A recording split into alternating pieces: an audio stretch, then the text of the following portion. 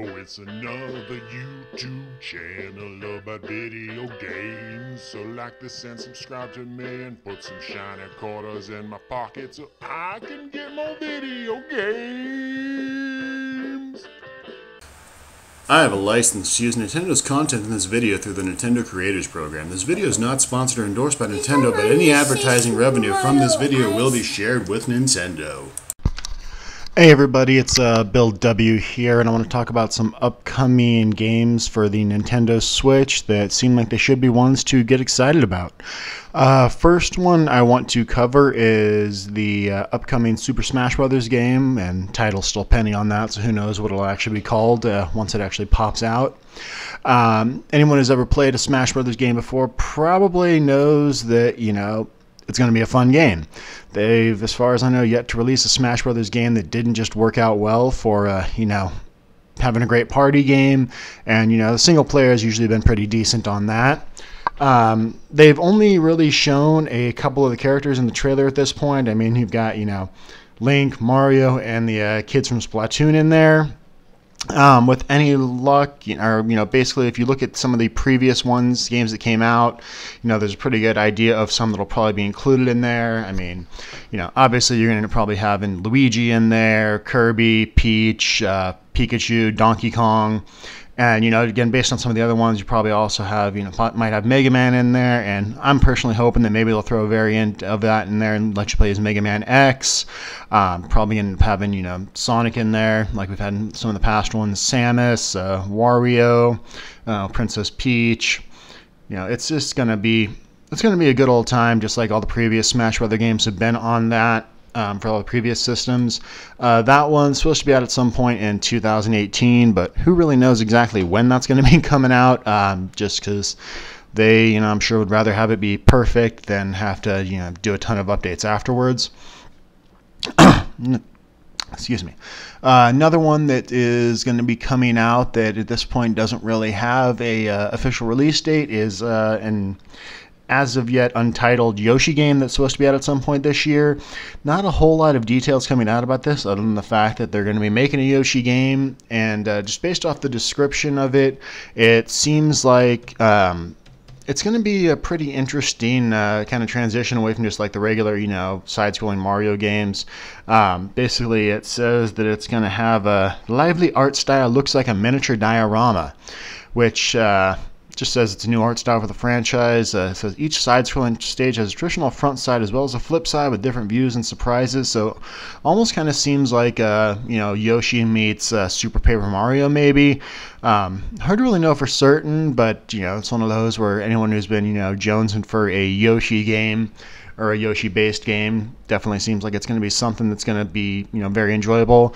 Also is going to allow for a simultaneous two player action, which is always nice, um, especially in my case with the kids because it lets them you know play together instead of having to yell at each other while they're waiting to take turns.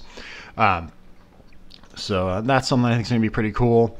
Um, in terms of ones that actually have official release dates, uh, first up is uh, Donkey Kong Country Tropical Freeze, which is coming out on May 4th. Uh, this is a re release of the Wii U game, and some people are like, hey, why are they charging so much for a re release of a Wii U game? Well, they've added in some additional parts to it. Uh, there's going to be, you know, there's the co op uh, variation of it.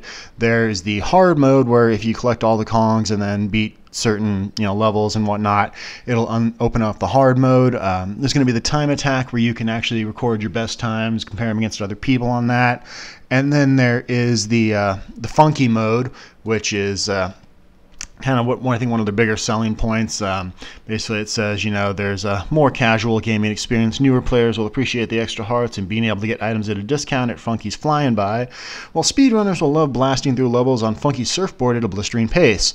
So it seems like they're trying to throw in some additional stuff to make it stand out from the you know uh, Wii U version. Um, Next on the list, we've got uh, Hyrule Warriors Definitive Edition, which, again, the original Hyrule Warriors came out on the Wii U. Um, and it's a hack and slash game featuring all of your favorite Zelda char- Legend of Zelda characters. Uh, this one's going to have some updated Breath of the Wild uh, clothing in it and whatnot. Um, this is another one that, you know, again, people are going to be like, hey, it's a re release of a Wii U game. Why am I spending money on this? Honestly, I really don't have an issue with them re releasing some of these Wii U games because, you know, the Wii U is a system that I just, you know, couldn't get that excited about because it kind of seemed like it wasn't all the way there, whereas the Switch kind of seems like what the Wii U should have been. So to me, it's one of those where the more games they re-release for it, the happier I'll be because, you know, it gives these games a chance to finally kind of hit the proper audience and get all the love they deserve. I mean, personally, I'd love for the uh, you know Super Mario Brothers Maker to uh, pop out on the Switch, but you know that's just kind of my hope. Um, and this last one, when I just first heard the name about it, I really wasn't super excited about it because it was giving me flashbacks to the uh, Virtual Boy Tennis. But uh, Mario Aces Tennis actually looks like it could be a pretty fun game, um, whether in one player or two player mode. Uh, I'm not 100% certain how the controls on it are going to work. I've got some ideas, thinking it might be pretty similar to how some of the uh, Wii tennis worked um, which you know was a nice way to accidentally end up whacking your you know sibling or spouse in the face with the controller. But you know, just got to make sure you got the right amount of distance there, and make sure that everything goes as planned.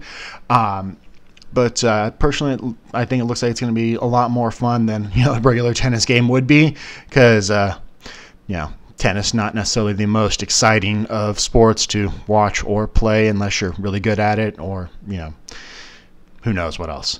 But um, these are just some of the ones that are coming out in the next few months, hopefully. Um, again, the uh, Smash Brothers and the uh, Yoshi game, they're supposed to be at some point this year, but don't really have much in the way of official release dates. Uh, some people are assuming, you know, probably September, or October. Got to make sure they get them out before Christmas, just so you can hit that, uh, you know, sales rush at that point, obviously. But uh, definitely seems like there's some good. Uh, let's notice these are actually all pretty much first-party games because you know Nintendo is Nintendo. Um, and that's actually one reason why I'm excited about them is because Nintendo has a tendency to put a lot of love into their games that you know carry their namesakes and whatnot. So it gives me hope that all these will actually end up being as good as I am hyping them up to be. Um, so yeah, we'll find out what happens with those. And I do have a Tropical Freeze on pre-order, so I will hope to be able to get that out with a you know review and some gameplay videos once that actually does pop out. As for the rest, we will uh, see what happens with that in terms of my budget. Um, but uh, thank you for listening. Thank you for uh, watching. Um, please, you know, like the video, subscribe, tell other people, uh, and uh, let's keep this going on. All right, thanks again. Bye.